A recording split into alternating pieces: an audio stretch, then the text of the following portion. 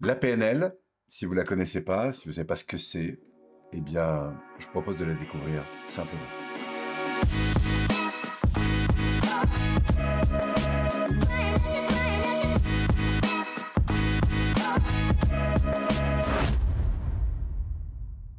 Alors la PNL, rien que le terme, moi je sais pas vous, mais moi ça m'a fait peur au départ, programmation neuro-linguistique.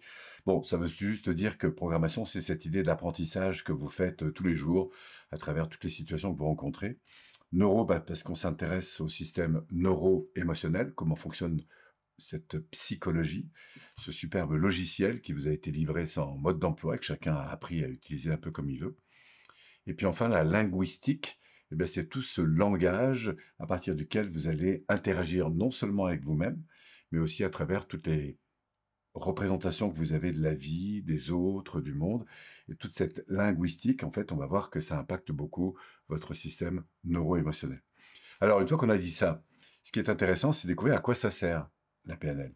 La PNL, j'aime dire que c'est un peu un art de vivre. Pourquoi? Parce que la PNL nous invite simplement à découvrir comment dans notre quotidien, eh bien, on pense, comment on réagit avec nos émotions et comment on interagit avec l'environnement à travers la communication à la fois verbale et souvent non verbale.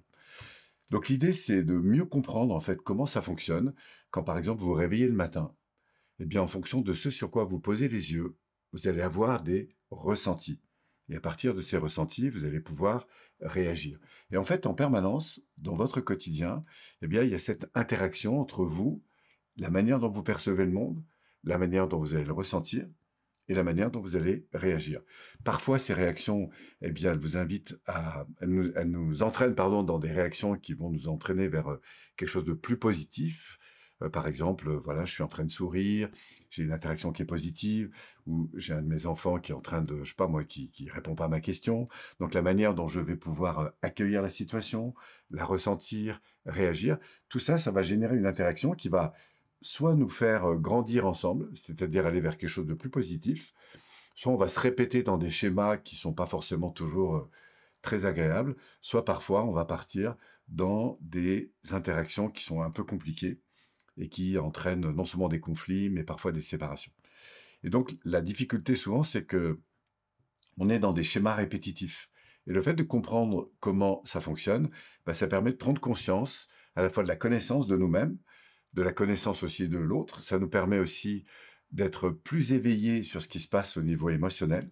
Et par conséquent, bah, ça va nous permettre de nous ouvrir des possibilités en matière de comportement plus adapter à la situation.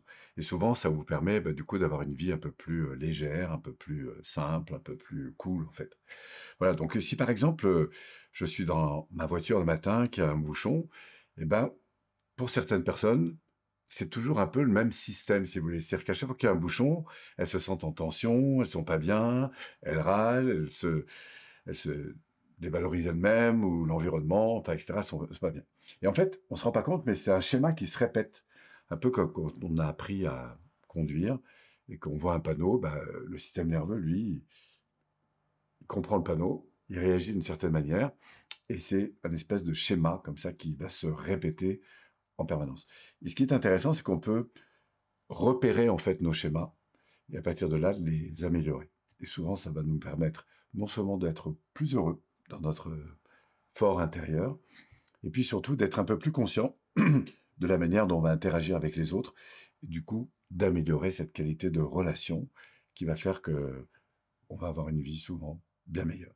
Alors non seulement ça sert évidemment chez soi, à la maison, avec ses enfants, avec ses conjoints, avec tout ça, enfin, son conjoint, on va pas dire ses conjoints, mais ça sert aussi socialement quand vous êtes en interaction. Euh, vous rentrez dans un restaurant, vous êtes dans un bus, vous êtes dans le métro, enfin en permanence, vous êtes en interaction avec l'environnement. Et la manière dont vous êtes en interaction avec cet environnement, eh bien, du coup, ça influence beaucoup votre vie. Et puis, bien sûr, dans votre travail, avec les gens avec qui vous interagissez tous les jours, collègues de travail, euh, responsables, équipe, euh, vos clients, toutes les personnes avec lesquelles vous êtes en, interaction, eh bien, en fonction de la qualité de cette interaction, vous allez euh, vivre, ressentir, interpréter des choses qui vont être soit positives, soit parfois moins positives. Donc tout ça, ça permet évidemment d'influencer énormément votre vie de tous les jours. Au-delà de ça, ce qui est aussi intéressant, c'est toutes les croyances, les perceptions que vous avez de vous. Par exemple, il y a des personnes qui pensent, quand elles voient une chose compliquée ou qu'elles entendent une chose compliquée, que tout de suite ça va être compliqué pour elles. Et du coup, euh, ben, on s'aperçoit qu'elles fonctionnent sur un schéma.